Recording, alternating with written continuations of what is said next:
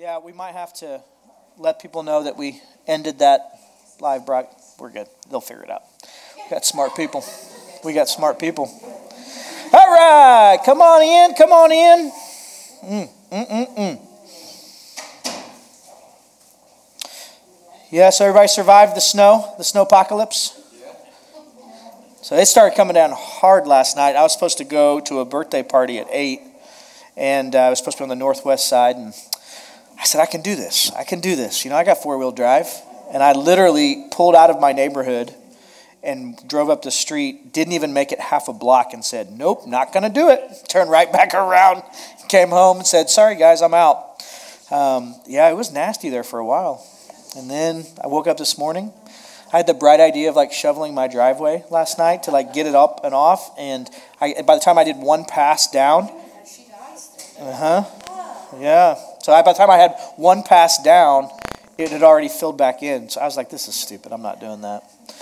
But um, yeah, other than that, it was great. Uh, beautiful. Walked outside. It felt like it was like 2 o'clock in the afternoon. It was so bright. And so, so well, welcome. I'm glad you guys made it. So we'll see how I'm sure either you have people online or people just slept in. Both of those are amazing options. And so, um, but we are excited about being here today. And that being said, um, I wanted to begin. Uh, we will be I'm trying to think announcements wise. Uh, small groups start next week, or yeah, this coming week. So if you were in the first group, uh, February third, we'll see you at my house. If you have any questions, holler at me. I would love to give directions, and we can go from there. Um, we're excited about those. We're excited about what Jesus is doing and how He's uh, building building community in, in fun ways. So I think uh, that's all the announcements that I have. Uh, that being said, as we begin this morning, I uh, wanted to do a uh, um, kind of a worship experience with y'all, if you don't mind. Um,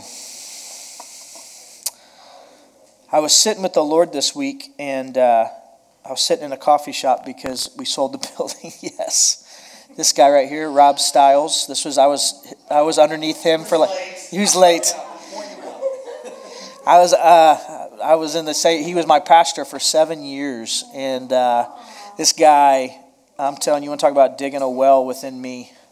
A lot of uh, what I know to be true about the spiritual realm, a lot of what I know to be true about deliverance ministry, all is a byproduct of that man right there. So he mentored and trained me in a lot of that stuff. And so I'm telling you, he, uh, he looks like, you know, like a, a GQ model right now. But you get that guy, he's the one that always just say, you got to paint the barn every once in a while. Um, but I'm telling you, you put him in a, in a deliverance session where somebody's really hurting and they're oppressed. That dude is a sword wielding, like Fabio, you know? He keeps his shirt on, but, you know, other than that, you know what I mean? So it's good to see you, sir. So, that being said, um, as we're going today, I really wanted to. I was sitting in, in uh, since we've sold the building, I don't have an office, and so the coffee shop has become my office, which makes f- intercession fascinating when the Lord drops, um, because then all of a sudden, like tears start to flow, and then I'm not sure what to do with my hands, and it just gets really uncomfortable. So I try to sit in a place where I can hide my face. Um, all of that to say, I was. Uh, I was sitting in a passage of scripture, um, just kind of meditating on it. And I think people probably think I'm falling asleep because I have my eyes closed and I'm just like letting the like letting the word cut me open. And what happens though is when the word starts to cut you open and you start to hear the voice of Jesus, and he starts telling you how much he loves people. Then you're like open your eyes and you're in a packed coffee house like all I want to do is go hug people, but that's frowned upon when they don't know you. You know what I mean? I don't know how to describe it. And so, yeah. So I was reading this book, and there was a line that I was, you know, I talked about it last week, but I'm reading this book about table fellowship and what it is. And he was talking about in the Hebrew culture, this I'm going to read a quote here. He says the Hebrews became they had come they had become to such a place that they were able to say to be blessed my, our definition to be blessed is to have enough to eat and drink, to have reason to rejoice, and exult out of a glad heart.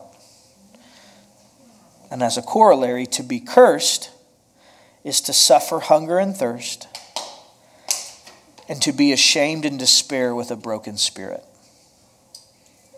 It's like simplified life. We are blessed when we have enough to eat and drink and we have reason to celebrate. And we are cursed. And I was, as I was processing this, I was like, and these aren't people that were like staying at like the, the presidential suite at the Hilton. These are people like the pinnacle of their life in the Old Testament is defined as each man had his own vine and his own fig tree. So had some type of shelter and had his own vine and his own fig tree. Like that was life in that time. And they were able to say, This is what being blessed is. And I thought, Jesus, ah, it's interesting. It's interesting. So, what I want to do today, if you guys would just uh, um, go with me on this, um, we're going to be in 2 Corinthians 5 today, and we're going to be working through another one of our value systems. Um, but out of the 2 Corinthians 5 passage, I want to read three verses because I feel like I want to attach like this worship experience to this. Is that okay? And so with that, um, this is 2 Corinthians 5, starting in verse 12. This is the real famous passage. We'll end up getting to it where he says, um, For we, you know, um, therefore from now on we regard no one according to the flesh, right? And then he goes on and he says this is the real famous one. If anyone is in Christ, he's a new creation. Old things have passed away. Behold, all things have become new. And so, but this is the this is the preamble to that, if you will. Paul's talking about his ministry, and I can't think of a better way because where we're at. Yeah, I'll get to that in a second. Hallelujah. Going into teaching mode. Okay. It says worship. Verse 12. He says, he's talking to the, the Corinthian people, and he says, We do not commend ourselves again to you but we give you opportunity to boast on our behalf. Just want to put it in layman's terms. He's saying, I'm not trying to impress you. We're not trying to build ourselves up like we're the ones like you guys need to be impressed with. I'm not trying to impress you with my preaching. I'm not trying to impress you with my anointing. That's not what I'm trying to do. It's almost like he's saying, I'm trying to impress you with you. That when you begin to see what Jesus feels about you, you become impressed with you, not me. And I don't mean this in a hubris way, I don't mean this in an arrogant way. I mean, like, oh my gosh, that's what the Father thinks of me?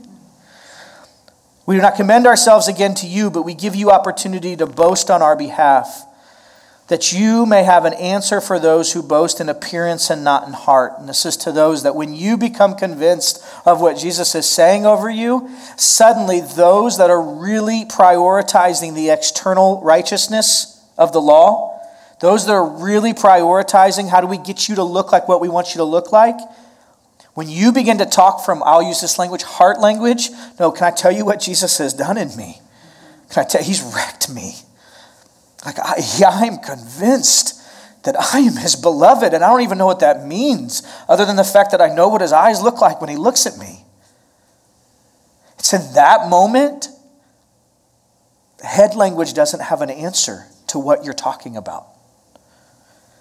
He says in verse 13, if we are beside ourselves, it's for God. And that word beside ourselves means to be caught up in mutual bliss. So think about this. Paul's whole point of salvation, this is what, remember last week we talked about being warmed by the fire, is how they used to describe salvation. The whole point is, is that when I get warmed up and I see the look in his eyes, I get caught in this mutual bliss where he delights in me and then I get to delight in him. And that, that reciprocal, that mutuality with Jesus of I am his beloved and he is mine. I get him. I get parts of his heart that nobody in the world gets. Paul's saying when you get caught up in that, that blissful encounter, he'll say elsewhere, that's getting drunk in the spirit. That's getting lost in his embrace. that's engaging in the dance of romance. Some guys are like, I am uncomfortable with this, which is fascinating because we are the bride of Christ. So it's a really interesting thing where I think a lot of guys can learn from women how to be a bride. There's something in the church where I think the women, incarnationally have a better language for being a disciple than we do as, as men. So it's this whole place we find ourselves in where Paul says, For if we are beside ourselves, it's because we're caught in that embrace, we're caught in that dance. Or if we are of sound mind, it is for you. I love this language. But when I got to lock it in because I can, I can, I know that your heart wants to connect and I can maybe, I'm trying to find a language for what I'm experiencing, I'm going to try to put on my sound mind hat. I'm going to try to put on my rational thoughts to help engage with you. But sometimes in the church, we've gone to a sound mind and we've lost the lover's heart. Does that makes sense? And so I don't know what his eyes look like when he looks at me anymore. So he looks a lot like my theology. He looks a lot like my concepts of him. He looks a lot like the principles of this is what I need to do in order to be loved. And so as I was sitting this week, I'm sitting with the, with the Lord, and I find myself just getting lost in this embrace and this dance, which is awkward when you're in a room full of strangers. And then I felt like the Lord said this next verse For the love of Christ compels us. And I felt like the Lord said, Matt, a lot of people are compelled by their shadow, by their anxiety, they're compelled by the things they've never looked at because they've never looked at me. I want you to be so undone in me that Christ is the one that compels you to action. Come on, you you know what I'm talking about these moments where you feel compelled and I don't even like in a negative sense like I feel compelled to defend myself here. I feel compelled to tell them like no no no that's you know whatever the language is. It's this driving that's in here that's beyond words. And Paul's whole point is that no, no, no, when I get caught up, when I get caught up in the lover's embrace, it somehow reframe, it, it reforms me in a way that like love. It's the love of Christ. And then I, and then you know what happens is I fall in love with him. I mean, really fall in love. And I'm not talking how we look at like young couples in the honeymoon stage and we like giggle at them. And we go, You just wait.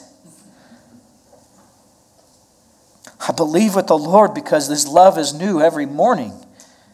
It is a place of it, it's an invitation to refresh and reframe and renew that love where I'm falling in love with Him. And then you know what? He's fallen in love. He's telling me how much He loves me in a way that I start to fall in love with myself again. I start to see myself in ways that I've never seen myself. And now all of a sudden, I'm like, I begin to taste freedom. And it's freedom from the compulsions of the shadow. And think about this we used Peter as the illustration, the Simon Peter of the shadow. But here's the thing we didn't talk about. You know, you know Peter, who is the, has the biggest shadow of anybody in Scripture that we have, and of the disciples that we see. And you know what healed people in the book of Acts? It's his shadow. It's the place when you let the Lord touch those places. I'm telling you, you get wrecked in his love. You get undone, and suddenly your shadow becomes the very place that brings healing to everyone around you. Because it's not your talents and your gifts, it's the place of your brokenness. It's not about, I didn't, I didn't, I'm not doing it with the best principles. I'm just lost in love. Yeah. The love of Christ compels us, for we're convinced, we judge this, that if Christ died, for, what does it say? That if one died for all, then all died. So here's some theology for you. You ready? I'm sitting in the coffee shop, and the Lord says, Do you believe that I died to redeem your shadow? Yeah, I do, Lord. Do you believe that my song over you is better than what you believe about yourself? Yeah, I do. Every time I talk to you, you tell me something new about me. Every time I talk to you, like I fall in love with you again. Do you believe that because if one died for all, then every person sitting in this coffee shop, I have a song over their life? I'm literally singing right now over their life. And so I'm sitting there looking at, I, I know people are weirded out. I'm looking across the room and I'm crying as I'm staring at somebody. And they're trying not to make awkward eye contact with me because of how uncomfortable it is. And suddenly I began, I, I, I just began, it's like the scratch and sniff. I just began to smell the aroma of his passion for people to know him. Not because he needs more servants, but because his heart cry is that they would be free. It is for freedom's sake he set us free. And so this morning, as I was saying, okay, Lord, that's a beautiful, I, man, I'm so grateful for this. I'm in awe. What do you want to do today? What do you want to do in this service? And I felt like the Lord said, Will you please tell them that for some, their first love has grown cold? And I don't know who, I'm not there, I have nobody in mind. I'm just saying, I felt like the Lord said, Will you let me stir up their love again? So that's going to be our worship experience. And the way that we stir up that worship experience is this, right? Paul says you stir up the gifts that have been deposited into you by the laying on of hands. So what I want to do is we're just going to put our hands on our heart, okay? And I want to and I want to frame it in that way, like in the ancient in the ancient world, to be blessed is to have enough to eat and drink, and to have reason to celebrate. And so we're just going to sit. And I know sometimes then your hands get tired. There's freedom here. I just want to start here, and we're going to speak to our heart and we're just going to settle in. We're going to say, Jesus, we just want to give space. Simply for the fact that you love us. And so we just speak to our heart. We speak to those places of first encounters with you that drew love, that drew out our affection. So we just speak to our heart and we say, Come alive. We speak to our heart and we say, Be thawed in the name of Jesus.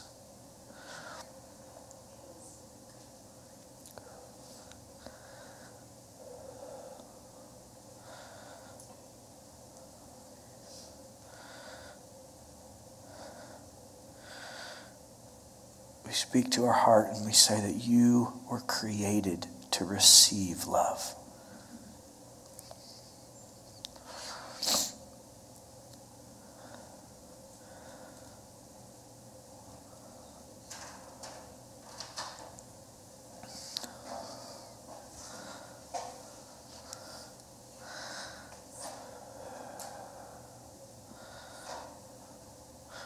Thank you, Jesus, that we have enough to eat and to drink.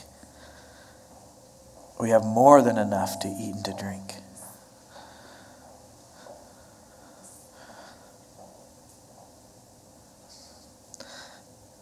You are faithful to your provision.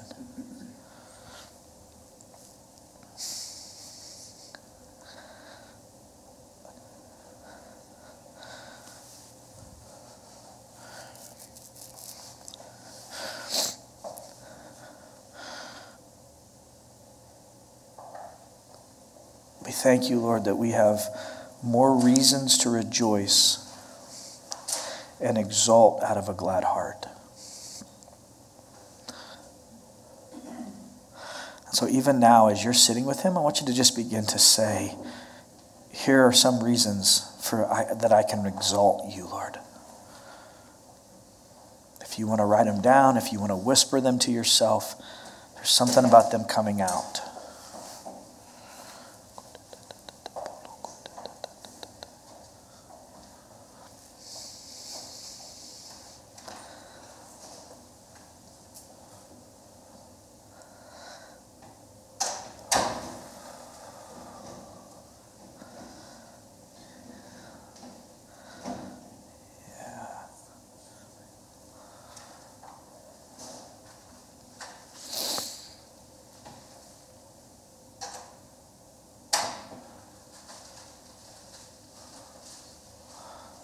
We adore you, Jesus.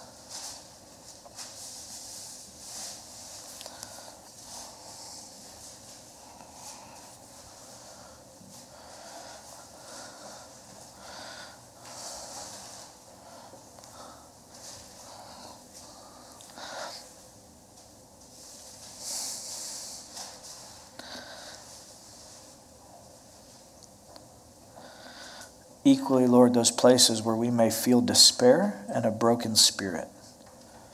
I ask that your love would come and begin to fill those places.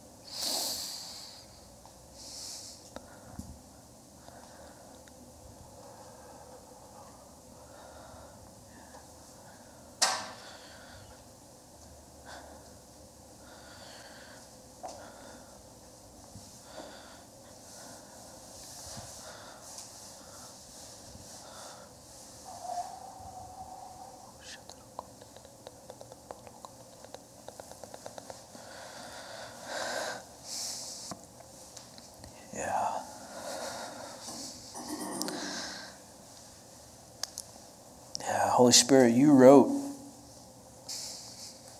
For if we are beside ourselves, it's for God. And because you wrote it, it's an invitation for us.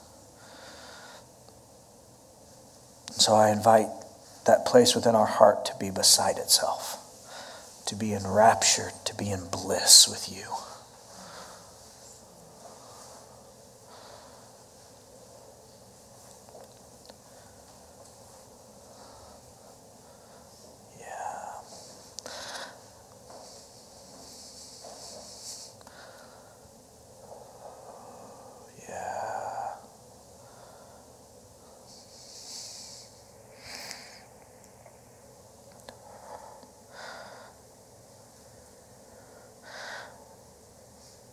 Lord saying, You were made for me, and I was made for you.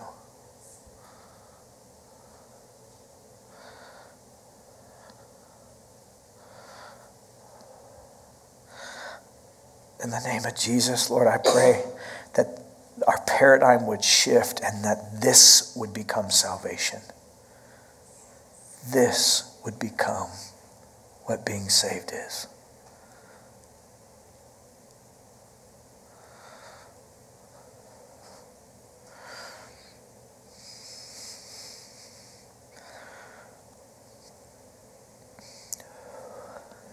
Yeah, Jesus.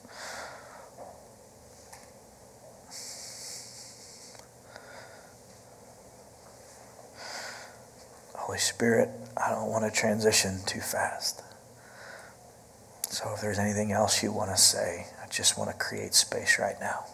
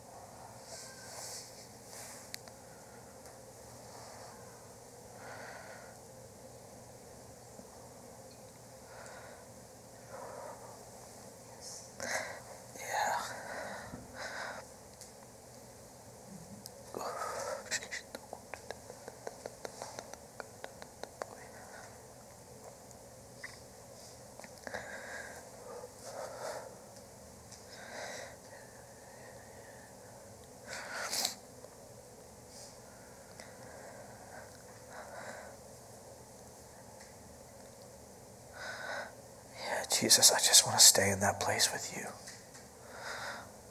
Our hearts are connected and there's a free flow happening. Nothing else matters.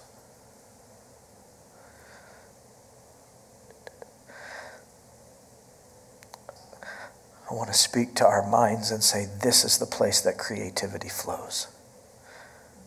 This is the place that we have answers to problems. This is the place where He makes all things new.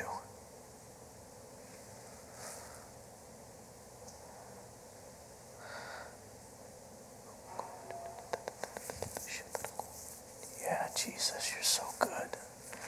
You're so good.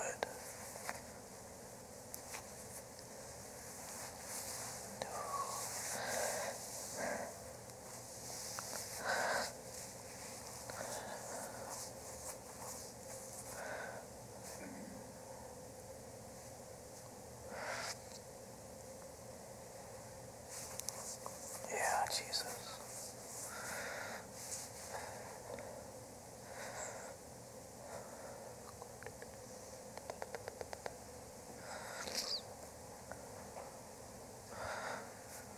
Yeah, yeah, yeah. Continue to soften our heart, Lord. Yeah.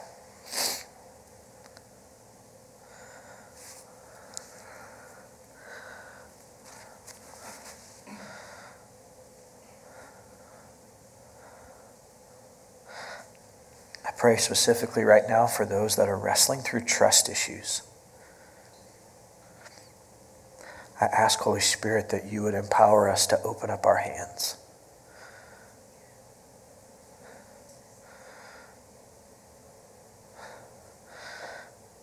That would trust you in a deeper way.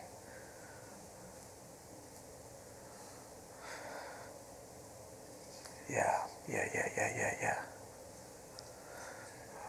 Holy Spirit, thank you. Yeah.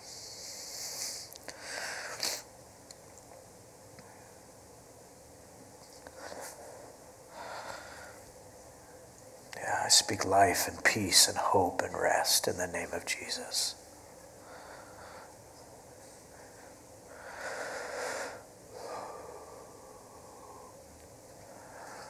Yeah.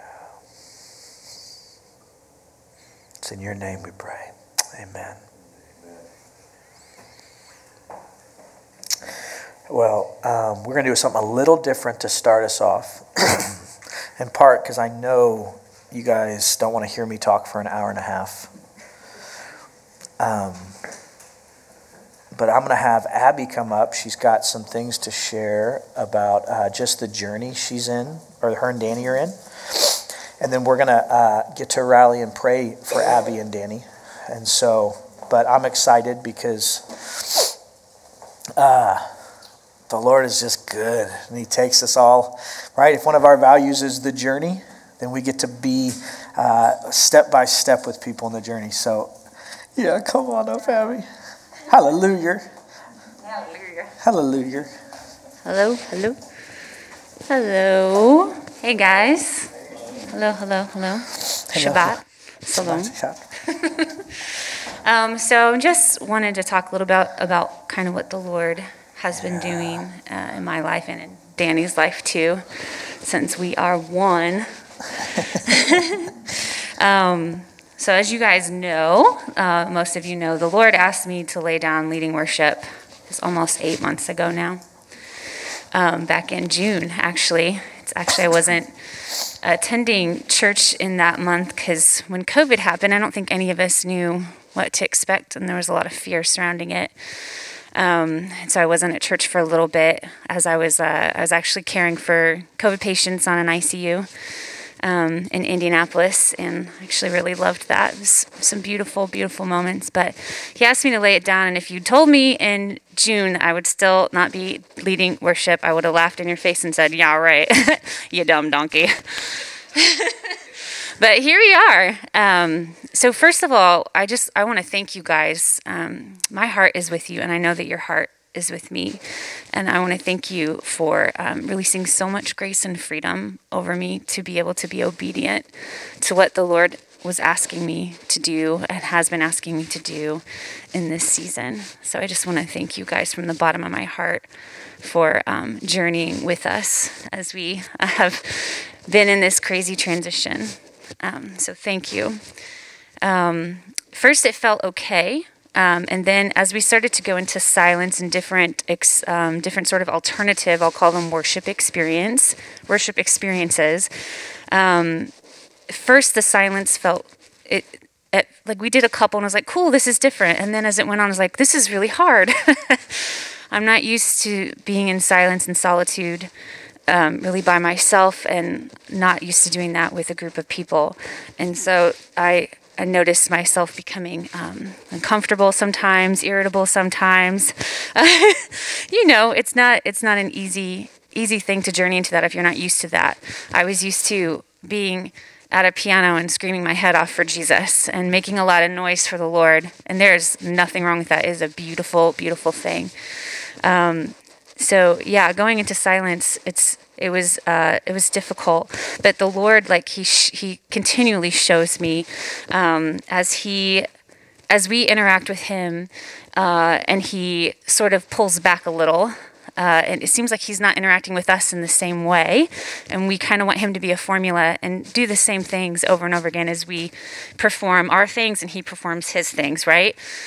this equals this. Well, that's not what he does. And so he, it's just this beautiful invitation um, into into interacting with him in new ways. And so these really interesting and fun and beautiful worship experiences, that's kind of what those have been for me, where it's um, inviting me into wonder in a new way that I would not have experienced otherwise.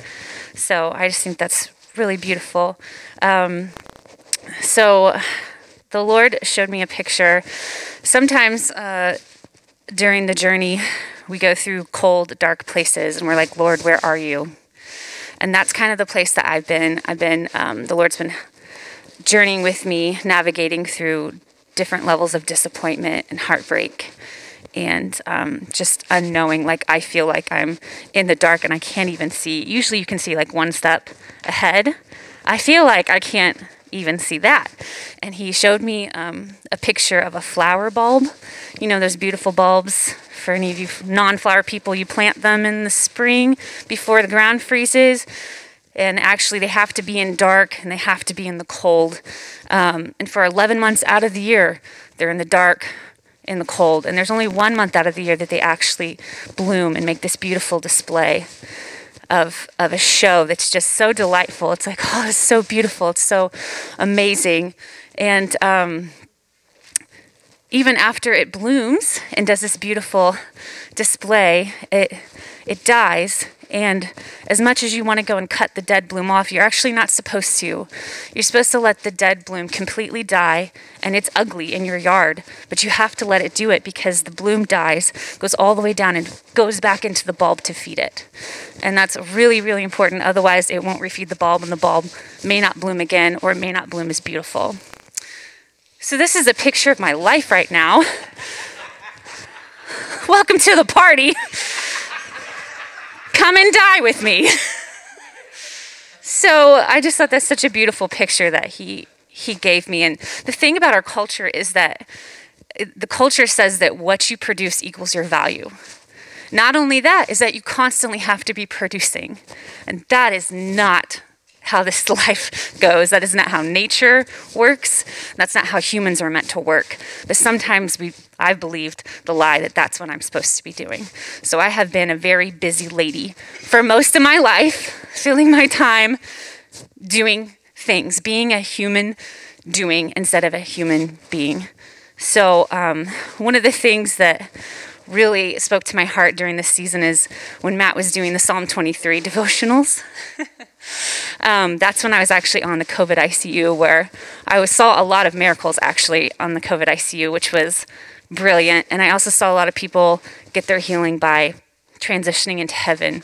And one of the things I'd always speak over my patients who were intubated, sedated, they were, you know, I, I believe that they can still hear and their spirit could hear. So um, I printed out Psalm 23 and I put it in every patient's room. And every time I go into that room, I read it over them. And the thing that the Lord is like speaking to my heart now is He stops me really early in it now. The Lord is my shepherd, I shall not want. He makes me lie down. And that's where I'm at right now. He's making me lie down. And the things is sometimes He asks you to lie down, and sometimes He orchestrates your environment and your experience to facilitate the lying down. And so that's sort of where I'm at right now um, in my life. And I feel like the Lord is, He's teaching me um, how to journey through um, difficult seasons. One of the things I will just briefly share that Danny and I have been going through is uh, navigating infertility. Um, we've been trying to have a baby for a while now, and this has been a huge, huge, uh, heartbreaking challenge that I, I, I've no friends that have gone through it, but I've never gone through it personally. And um, wow, how vulnerable do you have to be to go and um, say, well, something's not working. We're not able to do what everyone else can do. so there must be something wrong with us. Um, so that's been a really challenging part of this season as well, is navigating that. And um, we are still very hopeful and seeing doctors and all that stuff. Long story short, it's that's where we're at with that. And so I feel like the Lord is teaching me um, how to walk with Him through disappointment and through heartbreak. And He's teaching me how to grieve and He's teaching me how to cry. And that those are all a huge part of our lives um, as we journey with Him. So, yeah, I don't know what else to say.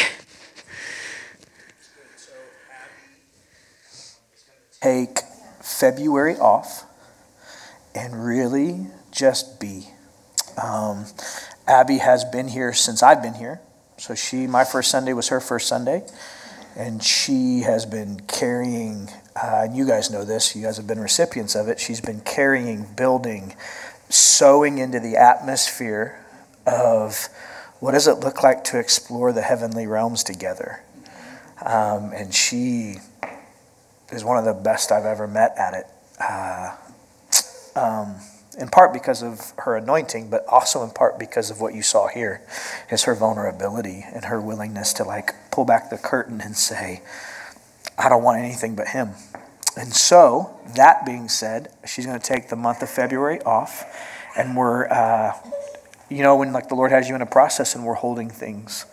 Um, and so then, as, as they, her and Danny come back, um, we're gonna yeah we'll see like they were wonderful and like they've been doing this deep dive into sound which is not my anointing. And so but and it's it's one of those things that they're learning it uh, in deep deep ways. So this is what i what we want to do. You want to add anything to that? Oh. Hi. Hello.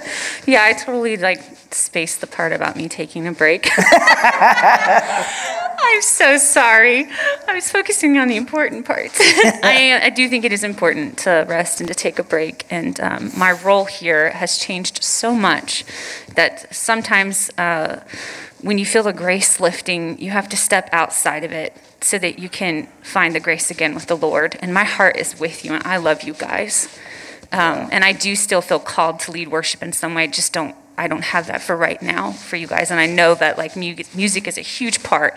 I've never been a part of a church that I've seen lay down musical worship and keep meeting and keep showing up. Yeah. You guys, that is amazing. I literally have never been a part of anything like this before or witnessed it from afar. Yeah. So, um, yeah, taking the break is really just me trying to uh, go into oneness with Jesus, me and Danny.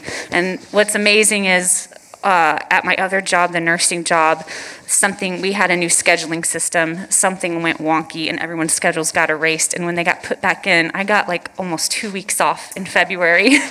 so I'm actually going to be able to rest from both um, my jobs. So I'm like, thank you, Jesus. Yeah. yeah. Yeah. Yeah. Yeah. Yeah. Yeah. So what we're going to do. to two things. One, uh, we are actually I'm going to pray and we're going to cover them as a community. If you get a specific word for them, I want you to find, we have note cards around here somewhere. I want you to find a piece of paper. I want you to write that word down for them. Okay? Sometimes there's a grace for us to grab the mics and we're just going to group pray. I, I don't feel that right now. I feel like we're supposed to write that down because it's something that in the month of February, as the time as all of the like what we're doing this morning shifts, then they can just sit with it and be with it with the Lord. Does that make sense? And so, but I'm going to pray a covering, and if you would, uh, this is the fun thing: is that um, we believe.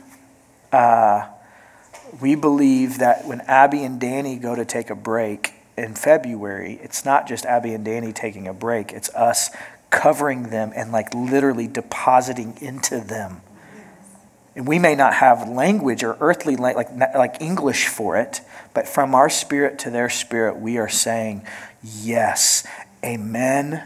We believe that this is what God has for you. Okay? And so, Danny, would you, I, I don't know if you're, would you come up here? I just feel like I'm supposed to lay hands and we're supposed to just bless you guys to get everything Jesus has. As we were praying in pre service, I heard the Lord say, I want to give them everything that the enemy has taken, I want to give them sevenfold, and that I want to multiply sevenfold everything that I have for them. And so, if you would, if you want, you can extend your hands. I'm just going to stand right here. Yes. Yes. Is that okay? Can I touch you, Danny? Is that okay? Yeah. Okay, good. this is proper techniques we're teaching. You got to ask if you can touch somebody before you start to pray for them. Jesus, Jesus, Jesus.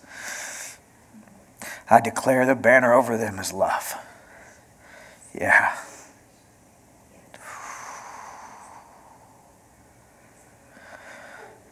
Jesus. Yeah.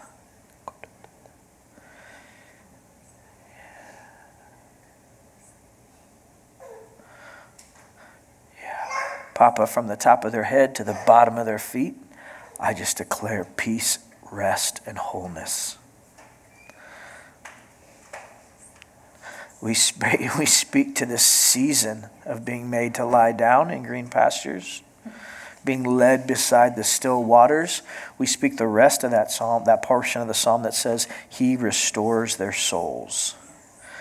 And so we as a community come into agreement that you are restoring, you are redeeming, you are reviving, you are rejuvenating, you are resurrecting everything that the enemy has tried to steal. We speak that resurrection life in the name of Jesus. We speak to those places in each of their soul that they have carried the disappointment, the heartache, all of that, Lord. And we just declare that this is the season for it to come forth, to be seen in a new light. That your comfort, your rest, your peace would fill them. I pray, Father, for a renewed sense of vision and purpose for their, for their um, their oneness with you and with each other. I pray, Father, that you would strengthen the things that are already so stinking strong. You would bind up any places. I, in the name of Jesus, I see this like circular stronghold around you too. And I feel like the Lord says, You have done a beautiful job of creating a stronghold. So, if the Lord, Holy Spirit, we just ask if there's any bricks that are loose that the enemy can shoot arrows in, we just ask that you'd put those bricks back in the name of Jesus. Just put them back up, secure them up. And I pray for just this supernatural timeline, Lord, where, yeah, years would become days Where your healing that you would normally take years can take days in your presence. And so we as a community, we send them to get everything Jesus has for them. We bless you in the name of Jesus to receive the fullness of your inheritance as sons and daughters. Yeah. We lift off the yoke of even the healthy yoke of leadership. We just lift it off right now. And we declare over Abby and over Danny just be. Just be. We believe in you. We love you. We value who you are, not what you bring to the table for us. We surround you in love. Yeah. Yeah, yeah, yeah. It's in the mighty, mighty name of King Jesus we pray. Amen. Yeah, yeah, yeah. You're welcome. Yeah, buddy. Yeah. How's everybody doing? Uh, we find ourselves at a transition point in this series. We've been talking about what is table fellowship, and for you, um, I know most of you probably went back last night during the storm and re listened to the first four sermons I gave on this. So I just want to say thank you for your diligence, for your dutiful, uh, studious ways. I say that to say um, the last couple weeks, we've been talking about the core values of really, and it's not so much like, hey, here's our core values. We want to be generous, right? That is a part of it, but we believe that generosity is a fruit of a heart that's just surrendered to Him. So there's so many things that we can try and say, hey, we want to be a generous church. And um, but what can happen is, is I can actually then like use coercion and manipulation to give you to give, rather than just trusting, no, like when your heart's wrecked by Jesus, there ain't no amount that's too much. If he tells you to give it, it ain't this beyond me, right? You guys have had those moments where uh, the Lord says, "I want you to give this amount of money," and it freaks you out, right? And but what happens is, is the Lord is showing you something deeper. And so we, yeah. So all of that to say, we will eventually probably do some sermons on like finances, but not in the general sense of uh, we need you to give more money. It's more like Finance, like your finances are your soldiers in your army. And when you hear the Lord say, give the, you need to release this many soldiers into this, we believe that those soldiers are attached to anointing. And things of the kingdom shake loose when we, when we send them. Does that make sense? So I say all of that to say um, that that's not what we're doing here. Here, we're trying to say that this deep journey that we find ourselves in with the Lord, right, this deep place of just what, what the scriptures call sojourning, Hebrews 11 and 12 talk about they, they walked the journey looking for a city whose builder was God, right?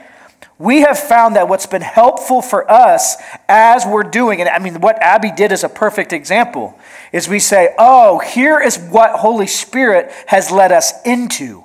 He's led us into the importance of creating space where I can slow down, I can be laid, you know, by in green pastures by still waters because I need to slow down because I'm full of my own opinions right now.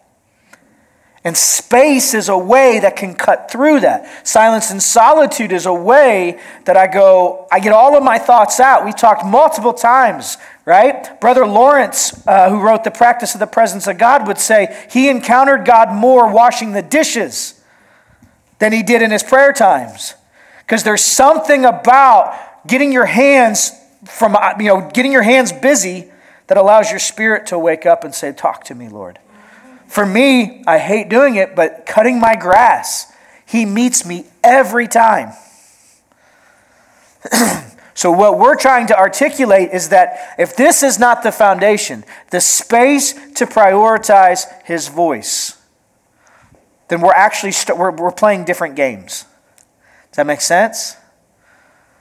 The law, it's not about creating space for you to connect heart to heart. The law is about what can you produce for me. Behavior modification is I need your wildness, your sin makes me uncomfortable. I need you to behave so that I feel more comfortable. Does that make sense? Let me give the caveat. There is a place where confronting sin is a part of the journey. I'm not saying there's not. But we want to begin here. Heart connection is our priority. Space for us to connect with Jesus, us to connect with the, the heart of the Father. Cool? Right? This is what this first portion of, of 2 Corinthians 5, that's really what it's talking about. If we get in this place, this place is bliss. This place is heaven. Many of you know this. I get into this place and I get lost in Him and I feel so secure, confident, centered. It's not until I get around you people that I feel insecure. Problem's not me, it's you, right? It's all those people out there, and I hear people devolve to a place of like, I just, I like animals, I don't like people. So there's a measure of value, I guess, in that, which I, I like animals too. But at the core, perhaps it's because there's been some social wounds that we need to get healed up. And social wounds only get healed by a social balm. So, this is the whole point, right? Space will always lead itself into the journey. When I slow down enough to hear the Lord's voice, inevitably he says things I don't want him to say. Inevitably, he begins to show me things that we have labeled my shadow. There's a thousand different languages. This is the sanctification process. This is, oh, I don't look like Jesus as much as I want to. So when you have a value for, like this is, so once again, the caveat to this, or not the caveat, but the, the layering to this is so often we can preach, you need to be humble. Pride is the great sin. There's an element of truth to that. I have never become more humble by trying to be humble. I get more prideful in my self righteousness. right? So, this is the reality. To a prideful heart, Moses saying he's the most humble man on the face of the earth looks like arrogance. But when I've been in the presence of glory, when I've seen his face, when I mean I, I've been undone in awe of him, I see myself in a different way. It's, it's this paradox. I'm actually more confident in who he made me to be and less convinced that it's up to me. I'm more confident and equally more dependent on him. I don't know how that works. And then all of a sudden I read Moses say, and Moses was the, he literally wrote, and Moses was the most humble man on the face of the earth. And I go, and I get that. It's the great philosophers of all time that said, the more I get, the closer I get to truth, the more I realize I don't know. That's the journey, right? So, what we're saying here is we value the journey to be present with somebody. So, in this, you ready? 2 Corinthians 5. Let's go here. I'm going to walk through this because we're going to build to this today. 2 Corinthians 5. For verse 13, for if we are beside ourselves, it is for God. Or if we are of sound mind, it is for you. Right? Verse 14, for the love of Christ compels us that's the whole journey, is letting the Lord touch those places in your heart where even the shadow places where like the Lord's not the one that's compelling you. But as he speaks to that place and as he this is the crazy thing, as he loves you right in the middle of it. Something shifts. It breaks loose. I don't know how to describe it other than it's the most glorious experience ever. For me, much in my life, I had anger and rage boiling just below the surface. I know none of you have that experience. But I was like at 211 degrees. And at 212, something boils. And so it was the smallest of things that could make me go off to the point that when I was younger, I had a buddy that broke my parents' fly swatter. And I jumped across the couch throwing punches at him because of how angry he made me that he would dare to break something in my family's house. Stupid. But it's 211 to 212. You know what I mean? And it's that place that as the Lord has just sat with me in it. And if I'm being honest, He let me make the messes and then I had to clean them up. Right? Come on. Let me make a lot of messes and then I had to repent to Him because He'd be like, Son, we don't do that. I know. And I was like, Well, maybe you won't make me repent to them this time. And he giggles and says, No, you need to go clean up your mess. It's the love of Christ that compels us because we believe that if Christ died for all, then all died. That if my shadow is under his grace, his heart is that my shadow would carry his glory in such a way that it would heal. But I love Paul's language here that it's, it's about getting lost in the love of Christ first. It's the love of Christ that motivates, moves, directs, and compels us. Verse 15 says, And he died for all, that those who live should no longer live for themselves, but for him who died for them and rose again. So, as Jesus hung on the cross, what I'm recognizing is that many times when we talk about the table, the, ta- the table's a metaphor, right? Table's a metaphor. It can be anything that separates us. In the, in the Hebraic understanding, the table fellowship became the place of saying, No, we're in, you're out. It can be my theology. No, I have the writer theology. I'm in, you're out. It can be behavior. You're not behaving in the, in the right way. We're in, you're out. Anything that draws the distinction, this is Ephesians 2, the middle wall of separation has been torn down.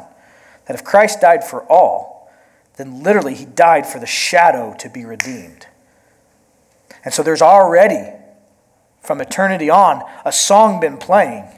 Jesus heard the song and was able to say, Yeah, absolutely. I'm coming in and I'm going to make that song become a reality. I'm going to give people access to that song the places of belief systems that had separated them from God. They believed that God no longer whatever.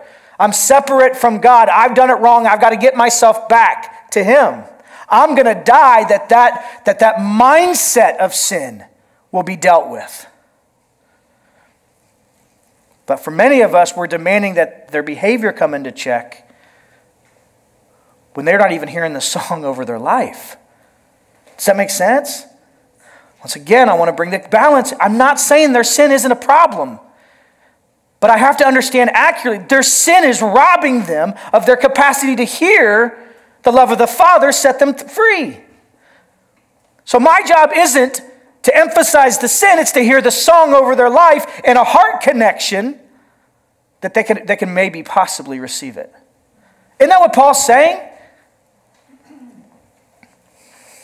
For if we're beside ourselves, it's for God. If we're of sound mind, it's for you. For the love of Christ compels us, because we judge this that if one died for all, then all died. And he died for all, that those who live should no longer live for themselves. It's not about me getting what I want, it's not about me getting, getting to see what I want to see. It is becoming so convinced of the love of God for me that I'm saying, Jesus, what's your heart cry for this? For this person sitting in front of me? And it's easy for me to say right now. It's way more difficult when I get in the place where I feel disconnected from the heart of the Father, when I'm in a journey of darkness, and the Lord says, I don't want you to do anything in ministry right now. I want you to sit down and let me love your heart in a deeper way. Because isn't that like the two steps? It's like we hear the Lord's voice in the secret place. And then you know what He does? He gives us a group of people to live it out in, in the real world where it's not always received. And I feel, ah, this is clunky and this is weird. And then you know what He does? Come back to the secret place. I want to take it deeper. And I go, no, no, no, no. I've gotten really good at ministering here. I'm really good. This makes me feel valuable. And He says, well, then you're going to freeze there. Because my fire's moving, son. Okay, I'll come back in. That's the journey. And the deeper we go in the journey, you know what happens? He keeps convincing us that he likes what he made. He keeps convincing us that Jesus' death was sufficient for you to get your world rocked by love. It was capable of it, it did it. So every time I get frozen in this place in the journey where it's like, there's no hope, I'm lost, you know what I need? I need an evangelist to come get me saved again. I'm serious. I need to get saved again. Because we were saved, we are being saved, and we will be saved. And every time I get saved, you know what happens? I become more convinced that the Lord doesn't think it's a party unless I'm there. Come on, some of y'all need to hear that. The Lord is not convinced it's a party unless everything that's been touched by Him shows up in you. Where you are fully present with yourself, with Him, and then you get to be the gift to those around you. Not because you're the wisest, the smartest, the best looking. That's already filled by my wife. See that? Thank you. I ain't no dummy. I ain't no dummy up here preaching. wise man. You get what I'm saying, though? It's this place, and if we're really being honest, it's the place of insecurity in me that says, well, I've already arrived. Come to me, all you are hungry, and I will give you revelation that's going to blow your minds. I have it all figured out. And it was funny. I was talking with Brenda a couple weeks ago, and she asked a question. She said, "Well, like, what about our journeys that the Lord's really healed us in?" I thought, that's a great question, Brenda. Yes, we need that. Right? I know all of us in here are like spry chickens. We're like young and ready to run. Okay? But if, if the Lord were to bring in some like really young people, that's where your story carries anointing and weight. In a moment when you're sitting with somebody and the Lord says, Tell that part of your story. If you haven't done the journey to like be confident to show up, you won't tell the story. Do you get what I'm saying? If the Lord hasn't touched that place, you'll tell the story out of a principle and not out of this tenderness of heart. Okay, I'm preaching. Hallelujah, hallelujah. So here's the place. And he died for all, that those who live should no longer live for themselves, but for him who died for them and he rose again. All of the places, the table became a place where I could justify. I could justify our separation. My being better than you, I could justify it. And I could find a scripture, I could find a theology to justify exactly what I wanted to say. This verse eradicates, it rips out. What Jesus did was ripped out anything that could define you apart from your dependence on Him. All of the reference points of our lives that are not touched by His love are irrelevant. And all of the reference points of my life that are touched by His love cease to become weapons against people. Does that make sense? I'll say it again. All of the places of my talents and gifts that can distinguish me and make me better, outside of the love, and I'm talking about the active love right now of Jesus, they become irrelevant. irrelevant. There's no other definitions that define you outside of the beloved. That's it. That's it. If there are any other reference points, I'm American, I'm white, I'm Christian, I'm any of those reference points, if they're used to distinguish you, will eventually become places of separation and not places of oneness. Can, can we pause? This can be a hard word because our whole lives we've been taught A, we have to distinguish ourselves, and what you believe is what distinguishes you. And belief systems became belonging systems. And it feels like the Lord's flipping that on his head. And he's saying, No, if you can hear the song over someone's life, you can actually speak to that place where they already belong. Because if one died for all, then all died. Come on. Does that mess with stuff a little bit? It messes with me. So then he goes on. We okay? I told the staff, I said, my, my danger is always I'm going to nerd out too much and I'm going to lose them. And when I lose them, we like bounce from our heart to our head. Does that make sense? And so if you do that, just stop listening to me. Stay in your heart. Stay with Jesus where your heart's at, okay? It's not about you catching everything I'm saying. Verse 16.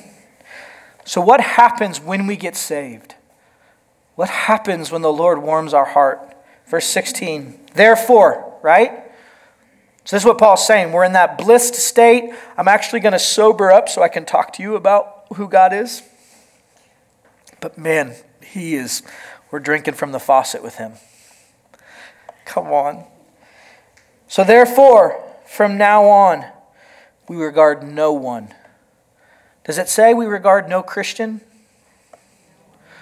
We regard no person that's smarter than us? We regard no one according to the flesh. He's talking to this audience in Corinth, and he says, even though some of you, you may have known Christ in the, in the flesh. What does he mean by that? You may have known Christ as the Messiah, as a, uh, as a miracle worker, as all of these different things. You may have known him in that way, but you know what happened? When you see him seated at the right hand of the Father, clothed in glory, none of those earthly definitions matter. Because you realize that all of the things I was trying to define Christ as, they're shadows of who he is. Does that make sense? They're shadows. So we regard no one according to the flesh, even though we have known Christ according to the flesh. This is radical. That what Jesus' death redeemed in every single person, it brings closure for any reasons or judgments they have about themselves. So let me, let me make it practical. So there's a place where you can sit with somebody at a coffee shop, right? Insert coffee shop slash bar slash bistro slash Panera, whatever you want, right? For some of us, it's like, I'd love to go have a beer with somebody because it literally violates so many things in them. And I don't mean to be dishonoring in that, but it's hard to have our church lenses on when we're having a, a, drink. Does that make sense? I don't know why I said that. I just did because I felt like I was supposed to. So there we go. That's for, grenade. Have fun. Okay. Jesus, help me. So I'm sitting with somebody, right? And they're participating in uh, various levels of what we would call sin. Various levels of like um, uh, defining all of the places where they're outside of the camp. Does this make sense? And in those moments, those are really tender moments because the minute, um, and I don't mean this wrong, like, is there a part of God's heart that wants to correct that? Sure. I can just tell you from my experience, Jesus never goes about it that way. Never. When I'm in the midst of that, I would say 99.9% of the time, the Lord is like, So what's going on? And I'm like, What are you talking about? And there's like the big elephant in the room, right? What's going on? Nothing. I won't look at it if you won't. You know what I mean? And Jesus' whole point is like, I'm not ignoring that. But you know what? That's attached to something going on in your heart right now. And when you sit across the table from somebody and you begin to hear their story, you actually begin to create space for them to come out. And you begin to actually say, Oh, you're in the middle of a journey. Tell me about your journey right now. You know what you invite without them knowing it? You invite this part of them to show up that's never shown up with another person that's a believer in a church setting. Does that make sense? And so as you're sitting there, you know what happens? Is you're going, I get it. You could be a mass murderer. There's a song over your life that we've missed along the way. So can I just hear that? Can I hear that? And you know what? Inevitably, every time for all just because this is the other thing. I know some of us are more justice oriented and we're like, no, it's the right, it's the righteousness of God. I get it. I get it. You know what happens inevitably? I have never been in a relationship with somebody in the midst of their sin that has not ultimately come out. If they kept their heart open and I stayed connected with them, I have always seen them end up coming back and repenting of their sin. Always. Right? Because God's concerned about this, but it's never from the place of you need to repent to make yourself right with God. It's always from a place, I had no idea he was that good. I had no idea that that was the song he was singing over me. Oh my gosh. I'm so sorry that I believed the lie of a different song. We regard no one according to the flesh. Right? Verse 17, therefore, this is so fun, right? Because he connects this. Therefore, here, right? It connects to verse 16. So many times, what we've done in the church, you guys ready for this? Here's one more nerdy section. My translation says, therefore, if anyone is in Christ. And what we've done is when we isolate verse 17 out of its natural habitat, we make it a conditional clause. What I mean by that is we read into the text Paul saying, Therefore, if you have done it right and accepted Christ. Does that make sense? If anyone is in Christ, he's a new creation. The old is gone, the new has come. But you know what's funny? The therefore at the beginning of that sentence actually connects it to the previous section. It's not a conditional clause. It, what it is, it's a conclusion clause. So Paul's summing up his language saying, okay, therefore, ready? If slash since we are in Christ. Since, ready? All of humanity is in the death of Christ. Since it was Jesus' death that literally released the song of heaven over every human heart on the face of the earth. It doesn't matter where they're at in their sin, the song is over their life. The song is there, it just hasn't been heard. It's on a different frequency. Since, if anyone is in Christ, they are a new creation. The old is gone, the new has come. And you know what it does? It's, it's, it's controversial because it requires us to say, that Jesus' death was sufficient. It was sufficient. He's singing the song, it's there. The question becomes Has their heart been resurrected by love? Because I hear the song, just like we started today. Lord, stir up my heart in love. And if I'm being totally transparent, you know how many times I know I know the beginnings I can start to hear the melody of the song over my life. Do you know how many times though? I step away from the fire, whatever analogy we want to use. I quit going in the journey. I stay here because I've gotten really good at this form of healing and ministry, and now I can look like the expert. And so I stay in this place because I really like being the one in control and being certain. I like people coming to me. And you know what happens? My heart begins to dull. It begins to freeze up again. Where all of a sudden, salvation and me getting the fullness of the new creation He's created me to be, I'll get that one day in heaven because there's no hope here. And I would never use that language because that's bad theology. And my, I need to be certain. I need to be the expert in this. This is the Pharisees. And I'll say it again Matt Williams is two stop signs from becoming the worst of the worst Pharisee. I'm two stop signs of hardening my heart and not being tender. Does that make sense? Hallelujah, hallelujah. If anyone was in Christ, he's a new creation. Old things have passed away. Behold, all things have become new. Jesus isn't revealing a potential you. I need to say that again. Jesus is not revealing some potential you. He's literally seeing what is already in you. He is seeing the finished work. That along the way, hear me, along this journey, you were born into a family that had its own fun traits. You were born in America, which has its own fun traits. You were born, you're living in the Midwest, has its own fun traits. There's regional, specific principalities and powers that you're navigating. There's a thousand things going on. Does make sense? And so our journey is about letting the Lord love us in a way that the paradigms that we have created to help shape how we approach life, they get lifted off and we see with new eyes. Okay, I, I can feel it. I'm nerding out a lot. We okay on this? If we need to talk about the theology of this, because I know I'm gonna, you can get some angry emails on this. So, so Jesus is what I'm saying is, is Jesus isn't revealing a potential you if you'll only do his self-help class.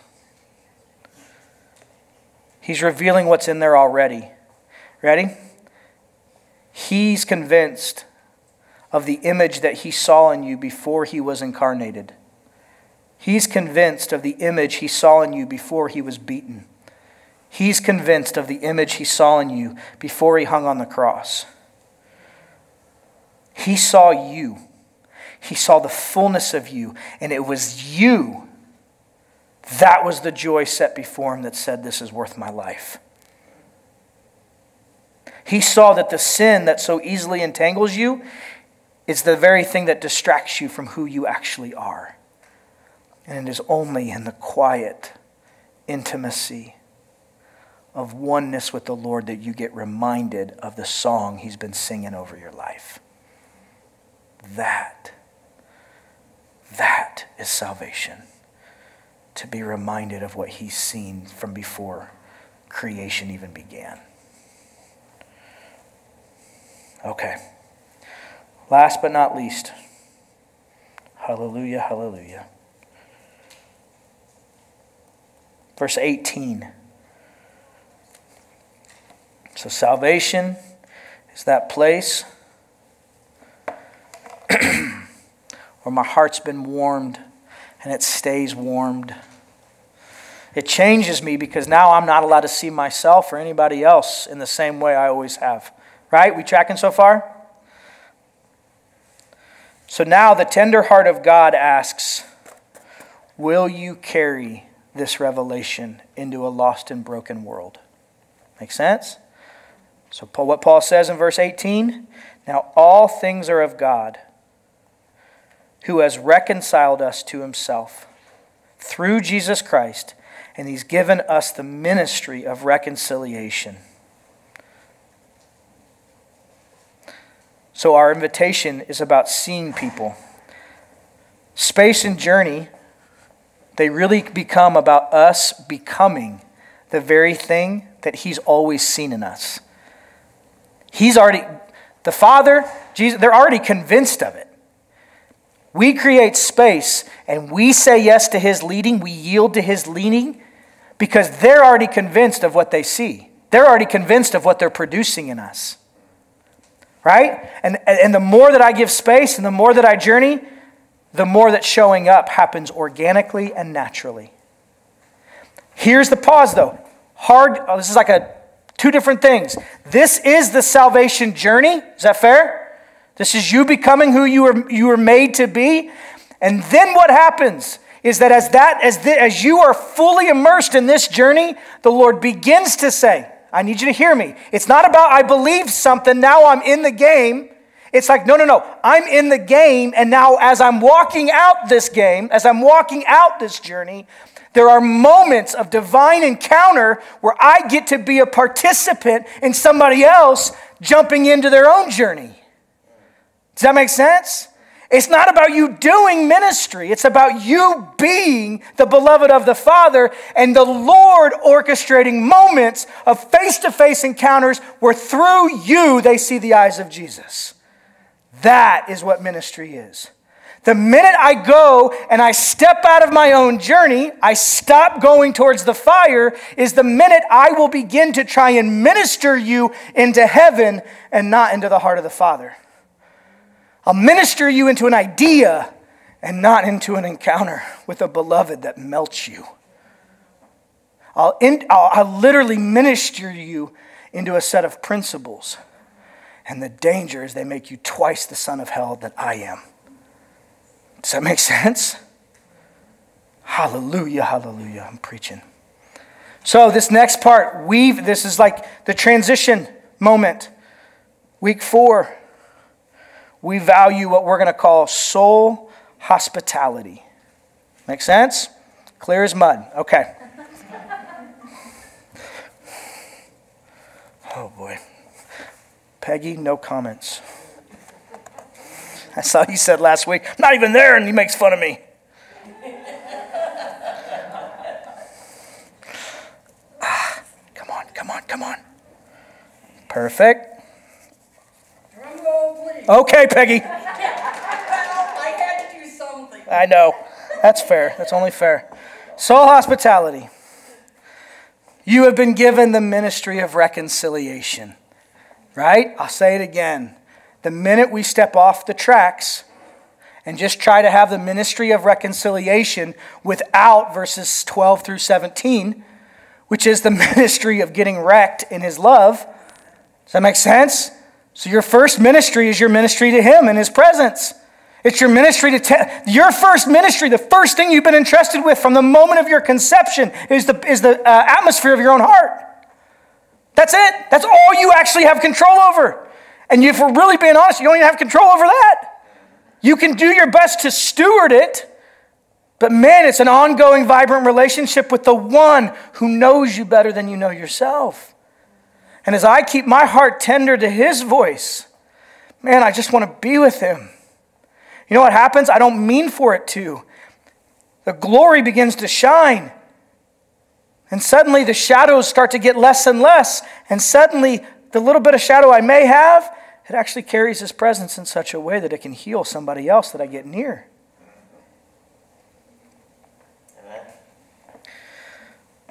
Now, all things are of God who has reconciled us to himself through Jesus Christ, and he's given us the ministry of reconciliation.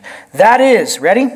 That God was in Christ reconciling the world to himself, not imputing their trespasses to them. He's committed to us the word of reconciliation. Jesus is not convincing an angry dad not to throw lightning bolts. This is not a bipolar God. I'm telling you, it's not. But how many times is that what theology teaches? They all, it's the Father's ticked at you, and Jesus, like, he has to come in and, like, stand in between. I get what we're doing. But then what do you do when you go and you sit with the Father? And man, he tells you how much he loves you and that he's always loved you. Before you were a believer, he adored you. What? No, I was in rebellion. I know. There were some lies that you believed, wasn't it? Yeah, you got the spirit of stupid jumped on you. Right? Right? And if you'd, have, if you'd have told me that in the moment, I'd have punched you. He's like, I know, that's why I didn't tell you. I just, I trusted my love. I trusted that it would thaw your heart out and you would see. And so it's this whole thing of like, God was, right? God was on the cross reconciling the world back to himself. And when we say reconciling the world, we're not talking about like you became this, oh, I, uh, give me. But we find how, how is God so kindred with Abraham? How is God so kindred with Moses that he would literally say, Moses, I'll let you stand before my face? How was God so kindred with David that he would literally let David see things that were intended to be thousands of years in the future and he let him have access to him in that moment? How does he do that if we're carrying the theology that God can't be in the presence of sin, so therefore he's got to be separate? Do you understand that the separation was more in the mindset of man than it ever was in the heart of God? And so ultimately, what happens is we paint a picture of the Old Testament God that was like disgusted with us, and now Jesus comes and goes, He's really not that bad, just give him a chance. Right? It's a violation of the heart and the nature of God. And sometimes we can feel justified in our disgust of that sin because we're still carrying that theology with us. Well, God doesn't want to be near that. I'm not condoning the sin. But what I am saying is that Jesus wasn't trying to convince a father that we were lovable. Jesus was the Father's heart on display, saying the wall of separation now has been torn down so that literally the blood of Jesus is more powerful than any lie that you grew up in your family system with. The blood of Jesus is more powerful than any theology that has kept you from his presence because of some distorted view of holiness. Jesus literally became the distorted view that we carry about the Father so that we might be one with him. That's the whole journey. Is unpackaging Jesus, you see me better than I see myself because you saw yourself better than I see you.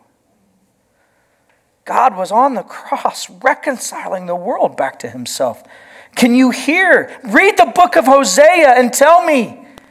It is not a wounded lover going, please sit before my face so I can show you that my, my, my love is unending towards you.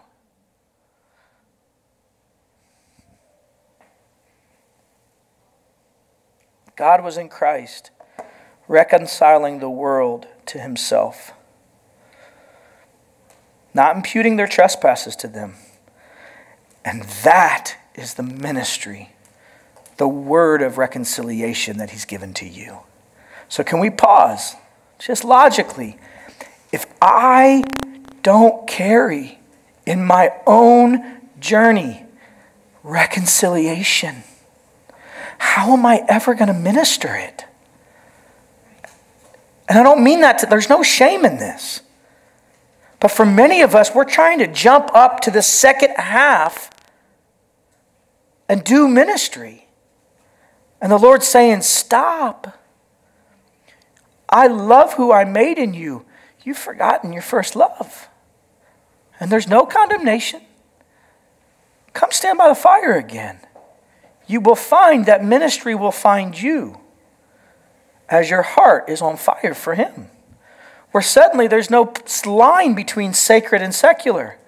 I'll walk into a bar and I will get a word of prophecy for somebody because they need to hear that song over their life. I'll walk into the coffee shop and I can't help but cry because they need to see the tears of the Father over them. So, on a very practical level, I want to speak this like soul hospitality. We're really familiar with the language of hospitality of like how a room is set up and how we welcome people into home by the decorations and the, the layout of the room. It's, a, it's an amazing science. I, I love picking the brain of, because some people just have this gift. And I'm like, why did you put that couch there? That's amazing right? Why do I feel like I just want to put my feet up on this house? Then other houses have all the same thing, but I'm like, I don't want to like move one arm because I'm, I'm afraid. I'm like, I go to a museum and I'm just afraid to move my arms. It's got a different vibe. So I'm, I'm I, and I know I'm preaching to the choir, but I want to say this. We've used illustrations of a bonfire. We've used illustrations of the branches of a tree. That in that passage where it talks about a tree is known by its fruit, we've had generations that emphasized in the Greek the word fruit. Change your fruit, it'll show you're a good tree. Jesus was talking about the, the healthiness of the tree. That if your roots are clean and connected, fruit is inevitable. It's just a byproduct of you being you.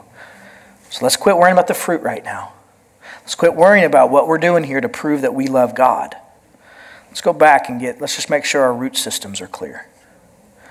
It's a healthy reset. Does that make sense? And what it does, and I don't know about you, we've used this language. There's something about, like, you know, like when you're camping. So I go to a bonfire at a buddy's house and I'm kind of like, man, I'm kind of tired. I want to go home and go to bed. You know what I mean? But when we're all camping together and the bonfire gets lit, we call it like there's this place of like the linger where I know I'm 10 steps away from my bed, so I'm in no hurry. There's long periods where there's no agenda and there's something about the like you're just in it together. Does that make sense? We call it like it's the linger. It's after a meal when I'm in no rush, stomach is full, my glass is full, and laughter flows easily. Where, if I'm being honest, we don't take ourselves too serious because we know that we're way more comfortable showing our rear end than we'd like to be. Right? As we were talking, as we were brainstorming, we were sitting with the Lord on a staff meeting. And we said, Holy Spirit, what are like what is the language of what we're talking about? And he said, it's a deep feeling of safe. And what we mean by that, it's safe to be themselves, safe to share, safe to laugh or to cry, and not have one celebrated over the other. Right? The internal journey, though, for us as we are steward, because that's the thing, there's always somebody, and I'm glad it's not me, that's in charge of stewarding the fire. It's usually like the dad. I think it would be Bob. Bob would be the fire guy. You know what I mean? Where Bob would be, okay, I need somebody to go get some sticks, and I'm gonna, he's, you know, he's the guy, everybody's having this great, and he's jamming that thing into the fire pit, and the ashes are going. You guys know what I'm talking about. Your dads are like, oh yeah, that's my, I love that. That when you become aware of how good He is, many times the Lord asks you become the tender of the fire. Does that make sense?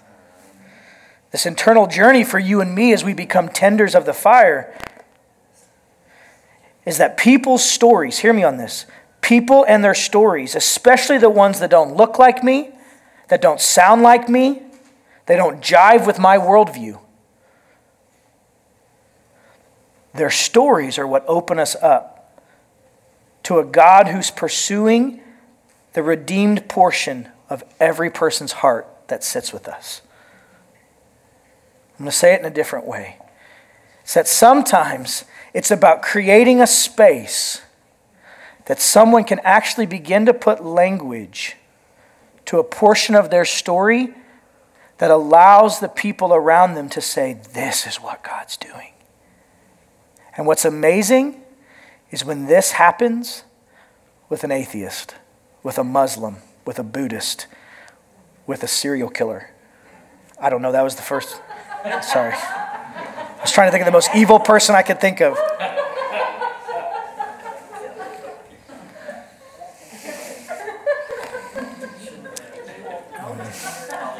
Exactly. Yeah. Denise just said, and you won't know he's a serial killer. Super creepy. Let's reevaluate who sits at our table now. Sorry, that's good. Hmm. Ministry of reconciliation. Jesus has done the work. I become a recipient of his love. So here's the reality is that many times what can happen is that we can focus on the physical space. We can focus on the atmosphere. We can focus on uh, the programs. We can focus on the ministry works. But if I am not carrying the reconciliation in my own journey, I don't know how to have soul hospitality. And soul hospitality will trump physical hospitality any day of the week. Here's the reality though I'm not saying physical hospitality is not important, but I'm saying that it needs to be a manifestation of my ability to sit with Bill and just hold space for him to be in his journey. And this isn't some new agey, there's no such thing as truth. That's not what I'm saying. It's, re- it's prioritizing the truth that the Lord, like Bill's journey is sacred like literally, if I were to see what Jesus sees in Bill, I would want to take my shoes off. C.S. Lewis says, I would be tempted to bow down and worship Bill because of the glory that he carries. And yet, the Lord says, Will you sit with Bill and hold his heart? I don't know how to do that. And he's like, Good, now you're trustworthy because you know you don't know how to do that. Does that make sense? But if we're being honest, tell me, just go back to this. Is that not what he does with you every time you sit with him? You sit with him and you're like, I need this prayer answered. And it almost never is connected to what he tells you. He takes you like down this like, you know, labyrinth into Narnia and you're over here. C.S. Lewis, there we go. Jesus has done the work. I become a recipient of his love. It's the love that leaves me completely undone in his presence. When I begin to become convinced that his love for me is unconditional, and all my striving and all of my work and all of my effort has not earned me his love, I start to see people as if they're already caught up in his love.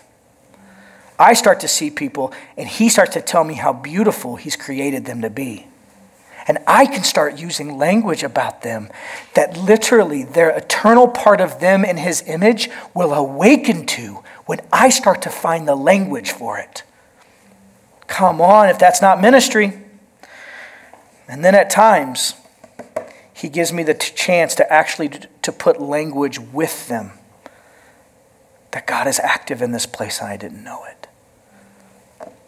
Let me read you this quote. This is by uh, David Benner. I just thought this was so good. You ready? According to the commentaries on the Torah, Abraham, the father of Judaism, he spent his days sitting at the doorway of his tent, waiting to welcome any who passed by. Hospitality always began with the provision of food and protection for travelers, but it also included a bath I'm glad we don't do this anymore. right? It always began with provision of food and protection for travelers, but it almost always included a bath, supplies for the traveler's onward journey, and an escort along the road toward the next destination. Ready? That was what hospitality was. And Abraham sat by his tent and just waited for people to pass. You ready? Here's the best part. Embodying these ideals of hospitality Abraham's solicitousness, his eagerness, would not have been limited to accommodating the stranger who arrived at the door. Ready? But he would have extended to running after the ones passing by to press them to accept the gift of welcome that he and his wife Sarah wished to extend. That Abraham would sit by his door, and it wasn't limited to those that just came to his doorstep. He literally was sitting there, and it was like he was so eager to talk about, like, can I bring you into my home and can I share my heart and my life with you? Right? And at that point, proselytizing, like, Abraham wasn't trying to make everybody Jewish. Abraham was just so convinced of the promise of God over his life and the faithfulness of God that he just said, Can I just, I'm, hey, that guy's passing. He's, close. hey, come here, come here, come here. Can, can I sit with you? Will you have a meal with me? And he knew that the meal would lead to heart connection, which would then ultimately lead to, like, I'm hearing stories about somebody's journey, and I'm actually becoming in awe of who God is and who they are. I'm actually tempted to go, Can I learn from you about God? And they're like, I'm a Muslim. And I'm, oh, that's, that's, a, that's a grenade. I don't even believe in this. I'm, oh, interesting. Tell me about. And what you find is that the tapestry of a father that has eternally loved his creation has been pursuing people that I never thought he would pursue because they were out and I'm in. And so what happens is, is hospitality isn't just about you doing ministry to somebody else. It's about positioning your heart to be in awe again. At that God is wooing this person's heart in this way. And you know what it does? It brings you all the way back to here, where I start the journey again. And you know what happens? God gets bigger. Jesus' blood gets bigger than I can possibly articulate. And we're caught in awe and wonder. We okay? if you have your communion. I want to end with this.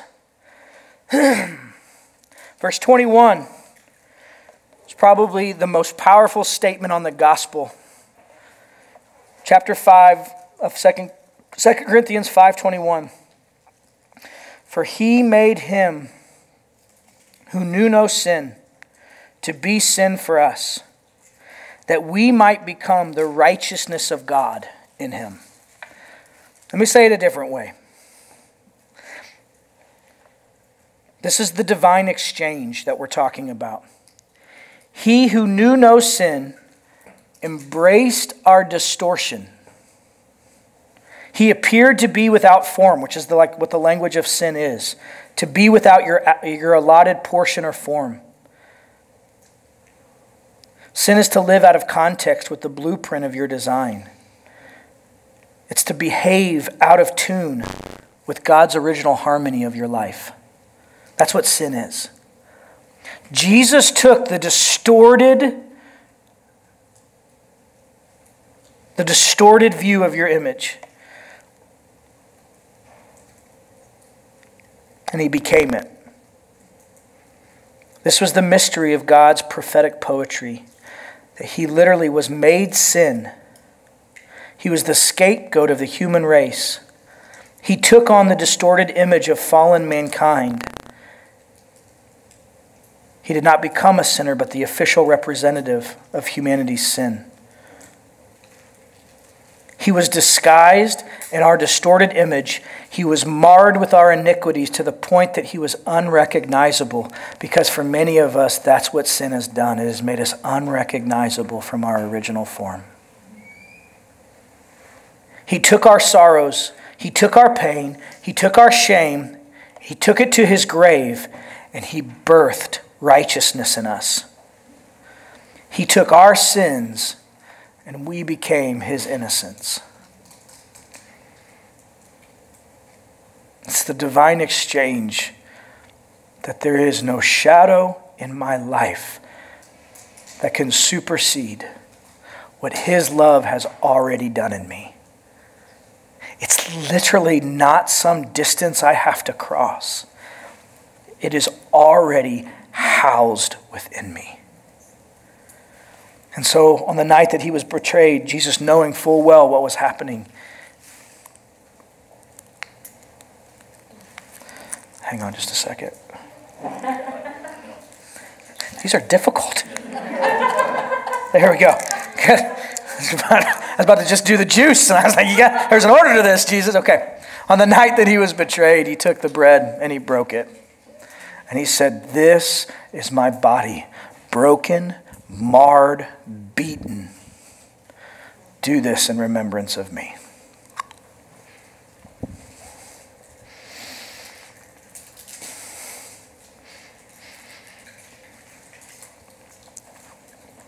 In turn, he took the cup. He gave thanks. And he said, This is my blood shed for you for the remission of sins. This is the sign of the new covenant. That the blood he shed, it speaks a better word over you.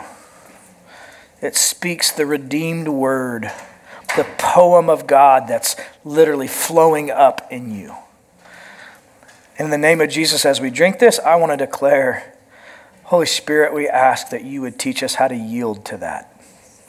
Yield to what you're, you're doing in us. That we would settle in that there's no destination to the journey apart from you. And so wherever you're at, we're there. We just say yes. He said, Do this in remembrance of me.